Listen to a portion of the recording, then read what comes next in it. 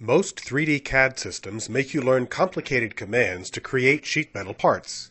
Watch as we create a sheet metal cover with no commands using Solid Edge with Synchronous Technology 2. Using a direct interaction paradigm, we can create parts by dragging 2D regions into shape or by pulling faces into flanges.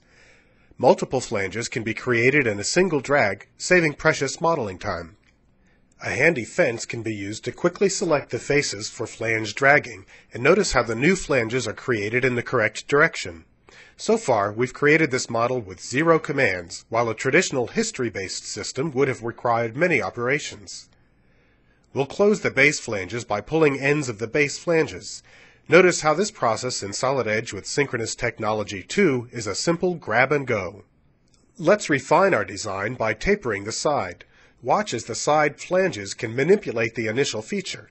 Getting these same results in a history-based CAD system would require first shortening the base tab, then adjusting remaining for the final result. Solid Edge with Synchronous Technology 2 does this in seconds. Let's make a more complicated edit and rotate the top face. Features in Solid Edge are independent of each other, so fast, flexible edits can be easily made so edits happen in real time. Solid Edge with Synchronous Technology 2 includes editable 3D driving dimensions that can be applied to geometry. Here, we'll add a dimension to the overall height and raise the top of the cover. Solid Edge with Synchronous Technology 2 is the only CAD system that transforms your investment in 2D into usable 3D designs.